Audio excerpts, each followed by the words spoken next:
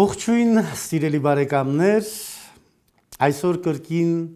ձեզ հետ միասին պիտի փորձենք կարևորել մեր ժողովրդին վերաբերվող մեկ խնդիր, ինչպես մեր անցյալ հաղորդման ժամանակ արդեն իսկ փոքրիկ փորձ կատարեցինք հասկանալու համար, թե ինչ կապ ունեն եվրոպացի որոշ ազգեր հայ ժողովրդի հետ, որովհետև ասել էինք, որ հայկական մշակույթը տեղափոխվելով Եվրոպա ինչ որտեղ նպաստեց եվրոպական այսօրվա մշակույթի ձևավորմանը այսօր կուզենամ անդրադառնալ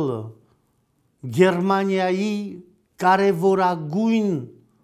ազգային խումբ հանդիսացող բավարացիների հայկական ցակմանը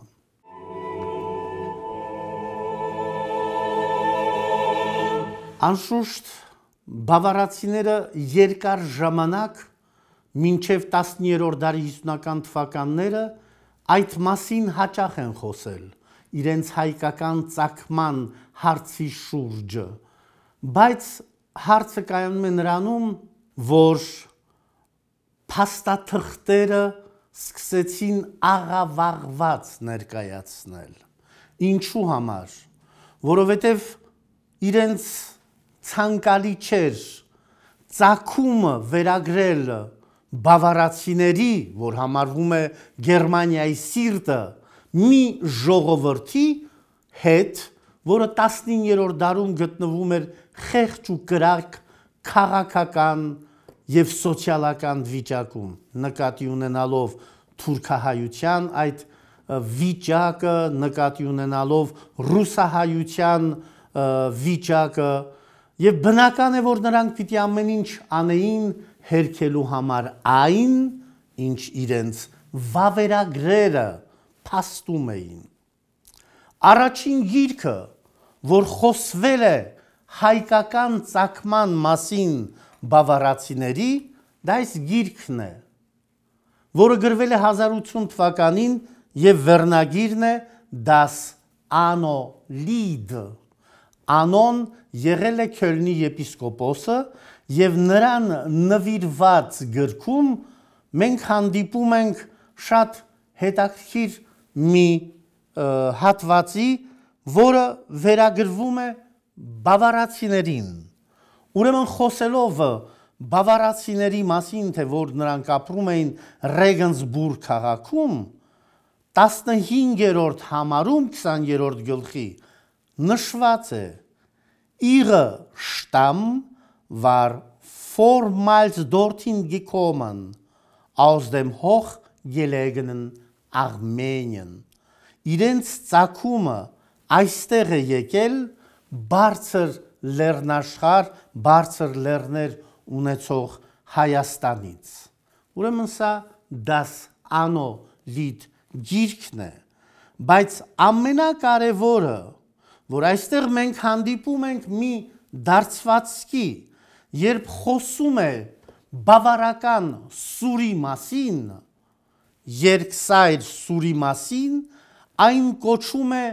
նորիկուս ensis, որը լատիներեն նշանակում էր նորիկյան սուրը եւ ասում է այդ մասին գրված է das ist bekannt aus heidnischen Bücher ուրեմն այս մասին գրված է հեթանոսական գրքերում ուրեմն նախաքրիստոնեական հռոմեական շրջանի գրքերը նրանք հայտարարում էին հեթանոսական գրքեր եւ այն ինչ հետագայում շարադրել էին իրենց ժամանակագրության մատյաններում ոչ այլ ինչ էր, քան հենց այդ հայդնիշե բյուխեր կոչված կամ հեթանոսական գրքեր կոչված հռոմեական աղբյուրներից եւ սա միակ գիրքը չէր, որի մասին նշում էր. 1170 թվականին, երբ հրատարակվեց այս գիրքը, նշանավոր Kaiser Chronic կայսրական ժամանակագրությունը այնտեղ եւս 315-րդ տողում հին գերմաներենով գրված է. «Die Geschlechte der Bayere kommen her von Armenie» սա հին գերմաներենով շարադրված 12-րդ դարի գործ է, որտեղ եւս շատ հստակ ասվում է այն մասին, որ բավարացիների ցակումը գալիս է Հայաստանից։ Այդ մասին վկայում են այլ պատմիչներ եւս Ուլրիխ Ֆյուտերեր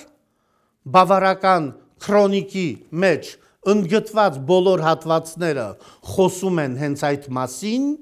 ուրեմն որ բավարացիները եկել են Հայաստանից եւ անդրադառնում է ուրեմն երկու հայ իշխանների մասին, որոնցից մեկի անունը Բայո Արիուս էր, իսկ մյուսը, որ ավելի երիտասարդ տարիքում է մահացել առանց սերունդ ունենալու, եղել է Նորիքս, որը համարվում է հիմնադիրը ավստրիացիների։ Եվ եթե ձեզանից ոման ծանոթ է, Ավստրիան երկար ժամանակ կոչվել է Das Land die Noriker, նորիկյանների երկիր։ Դժբախտաբար այսօր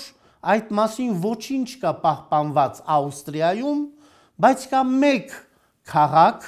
որը հիմնել է այդ հայ իշխանը եւ իր անունով երկար ժամանակ քաղաքը կոչվել է Նորիքսբուրգ, Նորիկի կառուցած քաղաք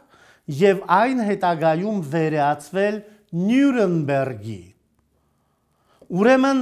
ցավոք Նորիքս Նորիքսի մասին շատ տվյալներ չկան, կա միայն մեկ բան, որ ինքը եղել է այնքան քաջ, որ իրեն համարել են Հերկուլեսի որդի Նորիքս։ Եվ շատ երիտասարդ տարիքում պատերազմի ժամանակ իր կյանքը զոհել է անշուշտ հատուկ իր ազգային ծրագրերին։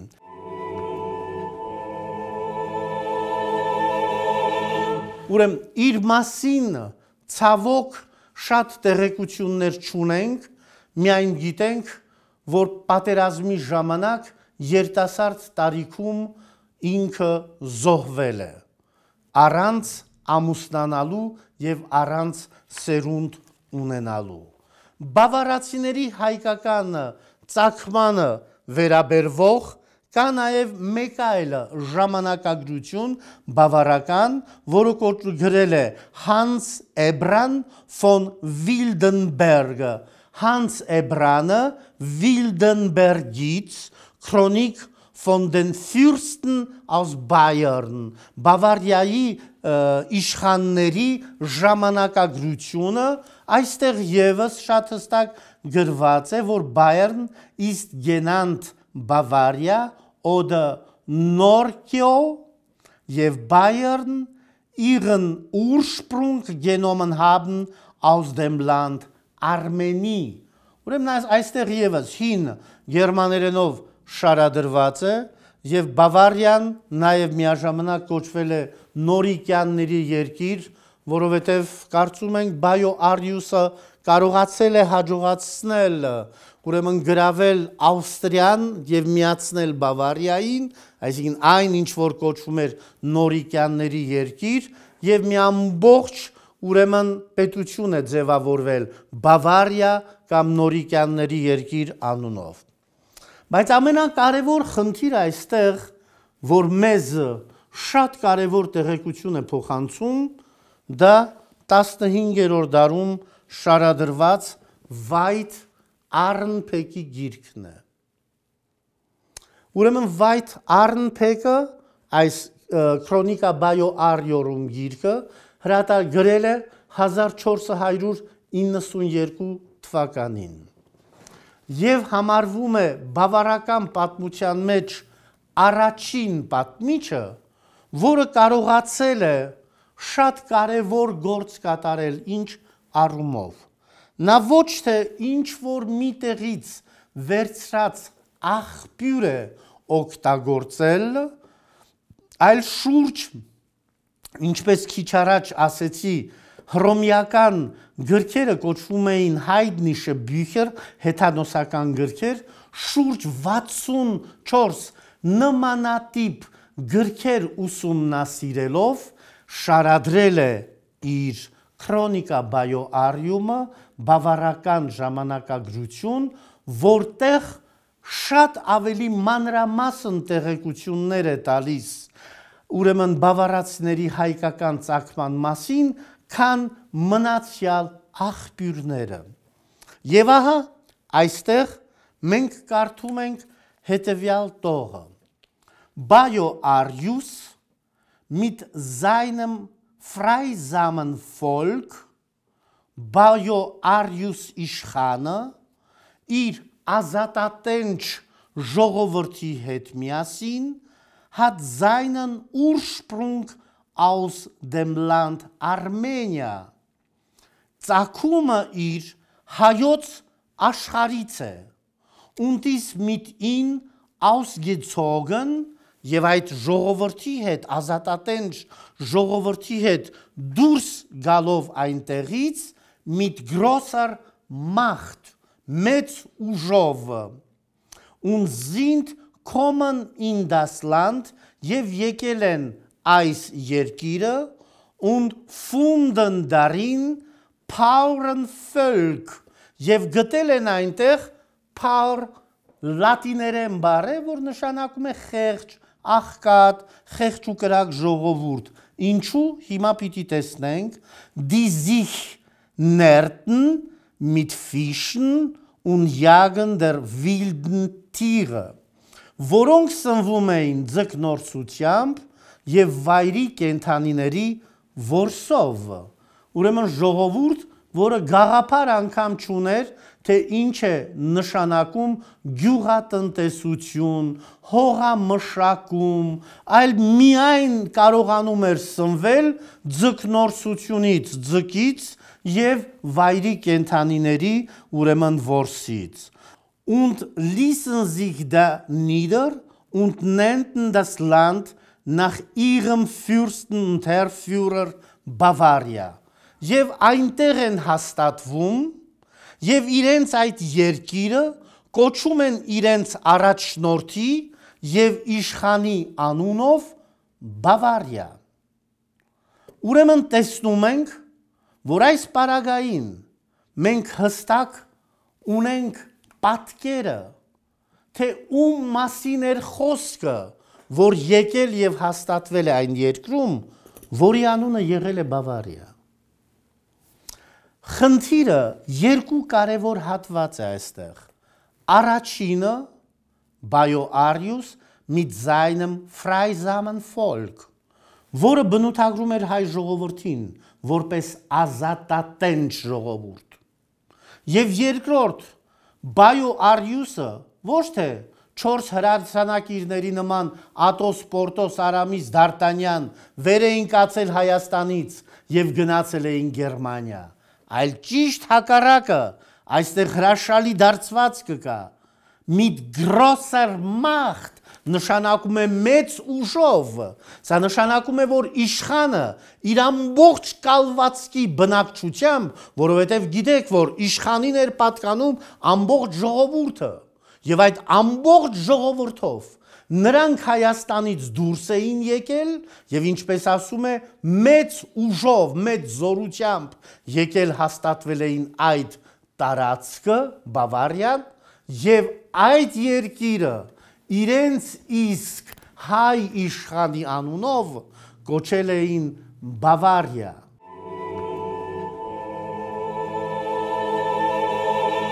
Եվ գիտեք, բավարացիները համարվում են Գերմանիայի սիրտը, ոգին, եւ զարմանալի մի հատկություն կա. բնավորության նույնությունը այդ տակարյունությունը նրանց մոտ կենսախինդությունը նվիրվածությունը եւ զարմանալի մրցակցություն գոյություն ունի Գերմանիայի բավարացիների եւ պրոյսների միջև պրոսացիները ապրում են ավելի հյուսիսային շրջանում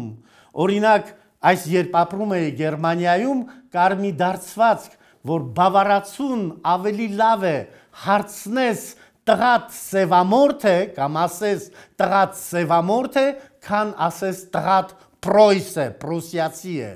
Եվ իրենց յուրահատուկ ապրելա ոճով նրանք անշուշտ աչքի են ընկնում իրենց առանձին հավաքական կյանքով։ Այնպես որ այս բոլորը խոսում է թե ինչ բացառիկ ժողովուրդ ենք եղել մենք, որ ուր որ գնացել ենք, այնտեղ նշված այդ power völker խեղճ ու կրակ ժողովուրդներին ոգի ենք տվել, միտք ենք տվել, իմաստություն ենք տվել, օրենքներ, ինչպես ասում է հետագայում, որ այս մարդկանց, որոնք օրենք չգիտեին ինչ է, բավարացիները օրենք տվեցին, բավարացիները նրանց սովորեցրեցին գյուղատնտեսություն, հող մշակել եւ այս բոլորը ինքնին խոսում է հայի ինքնության մասին, որպիսին դինելու մասին եւ այս գաղափարը գալիս է իր գագաթնակետին հասնելու այս հրաշալի մատյանի մեջ, այս հրաշալի գրքում։ Ուրեմն օրիգինալը այս գրքի ֆրանսերեն է, գրված 9-րդ դարում եւ կոչվում է Chanson de Roland, Ռոլանդի երգ է կոչվում, գերմաներենում նույն թարգմանությունն է։ Das Rolands Lied, Ռոլանդի երգը, որը ուրեմն նվիրված է բրիտանական ցակում ունեցող Ռոլանդ իշխանին որը գիտեք Կարլ Մեծի ժամանակ պայքարում էր ընդդեմ արաբական ուժերի, որոնք Իսպանիայից վտանգ էին սպառնում գալ եւ գրավել ամբողջ Եվրոպան։ Բարեբախտաբար Կարլ Մեծին կամ ինչպես ֆրանսացիներն են նրան կոչում Շաղլմանին հաջողվում է մեկտեղել եվրոպական ամբողջ ուժերը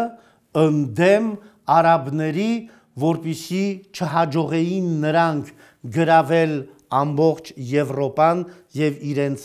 լծի տակ պահեին եվրոպացիներին։ Եվ ահա այստեղ Կարլ Մեծի շուրթերով խոսվում է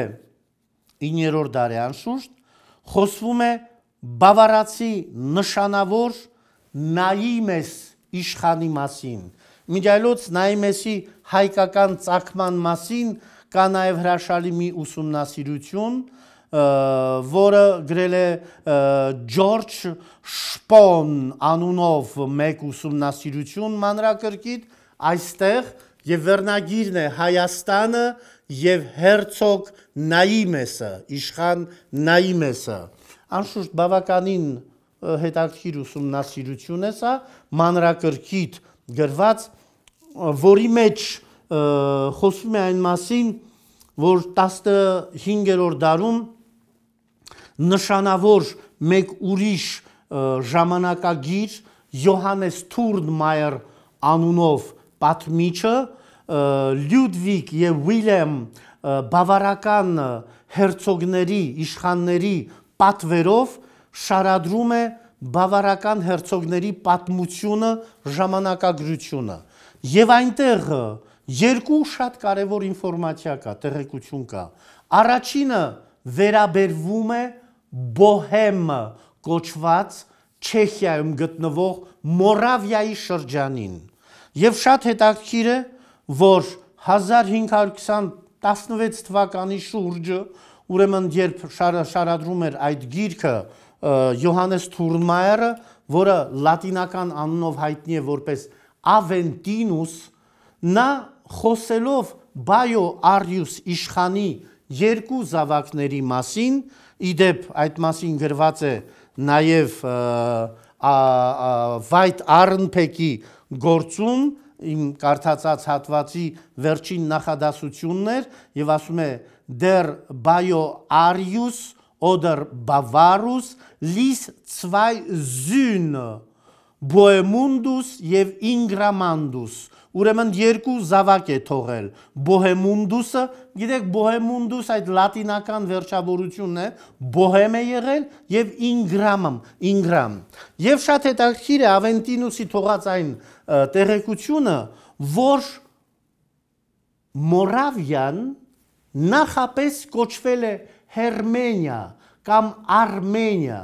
Այն որ Հերմենիա էր նշանակում, Հերմենիան նշանակում էր երկու իմաստ, մենք հանդիպում ենք, ուրեմն ես գոնե հանդիպեցի, երբ ուսումնասիրում էի բրիտանացիների հայկական ցակումը եւ բրիտանական էնցիկլոպեդիայի մեջ գտա այնտեղ հերմեն կենթանու մասին, որը հայկական կզակիսն է եւ լատիներեն կոչվում է mus armeniaca, հայկական մուկ Եվրոպացիները, ասում են ֆրանսացիները, նախկինում Հայաստանը եւ Կզակիսը նույն անունով էին կոչվում՝ Էրմինիա։ Քանի որ ֆրանսացիները հն չէին արտասանում, ուրեմն երկիրը եւ կենթանին պիտի կոչվիր Հերմին եւ Հերմինիա։ Ուրեմն Հերմինիա կոչված երկիրը Մորավյան հենց եղել է Հայաստան անունով, ասում է նաեւ Ավենտինուսը, որ Հերմինիան ինքը Արմենիա էր, որը հետագայում Բոհեմունդուսի անունով, ինչպես Բավարիան իր հոր անունով կոչվել է Բավարիա երկիրը, Բոհեմունդուսի անունով նախկին Հերմինիա կոչված տարածքը կոչվել է Բոհեմիա։ Այո, եւ երկրորդ կարևոր տեղեկությունը, որ հաղորդում է մեզ ուրեմն Ավենտինուսը Նայեմիսի Նայեմիսի մասին է, հայոց իշխան։ Բայց ես կուզեմ այստեղ կարդալ թե ինչ խոսքեր է ասում Կարլ Մեծը Նայմիսի մասին։ Նա ասում է Նայմիսին ուղյալ. Gott hat mich nicht vergessen. Աստված ինձ չմոռացավ։ Er hat ihn mir als Kämpfer gesandt. Աստված նրան որպես ռազմիկ մարտիկ ինձ ուղարկեց։ Der von den treuen Armenien abstammt, որը հավատարիմ հայոց աշխարից էր իր ցակումը այսինքն հայ էր նա հայաստանից եկած բայց այստեղ ամենակարևորը որ հայաստանից միայն հավատարիմ մարդ կարող էր դուրս գալ մի պարագա որը ես շատ կուզենամ որ մեր մեջ ձևավորվի այն գիտակցությունը թե հայը երբեք դավաճան չի եղել եթե դավաճանել են եղել են նրանք ովքեր ավելի մսրամելիքյան կերպար են ունեցել իրենց մեջ, որովհետև մաքուր արյուն ունեցող հայը հայկական չէր կարող երբեք դավաճան լինել, որը վկայում է հենց այս գիրքը, որը վկայում է Կարլ Մեծի ասած խոսքերը։ Եվ այսպես սիրելիներ, ուզում եմ այսօր ավարտին հասցնել մեր այս հաղորդումը, որը գալիս է ցույց տալու թե ով են եղել մեր նախնիները, ովքեր են եղել մեր հայրերը, որոնք մեզ թողել են պատիվ, թողել են անուն, թողել են արժեք, գիտակցություն, նվիրում, որ որ հողի վրա դու կանգնում ես, այդ հողը պետք է ծաղկեցնես։ Եվ այսօր մենք քանի որ մեր սրբազան հողի վրա ենք կանգնած, պարտավոր ենք ազգային գիտակցությամբ լեցված այս հողը վերադարձնենք այն կոչումը, որ ուրիշներն են տվել, թե Հայաստանում էր գտնվում դրախտը, որտեղ էլ ապրում էր հենց ինքը Աստված։ Դա Աստված, որ մեր մեջ այդ գիտակցությունը այնքան զորավոր ամրագրվի, որ մենք արժևորենք թե մեր սրբազան երկիրը, թե մեզ եւ թե մեր վաղվա օրը միասին մեր սիրով եւ միասնականությամբ այն կերտելով Աստուծո օրտնությունը եւ ողորմությունը ձեզ բոլորի հետ լինի, որpիսի կարողանանք ամբողից ազգ դարձած իրականացնել այն, ինչ որ Աստված տվել է մեզ հայերիս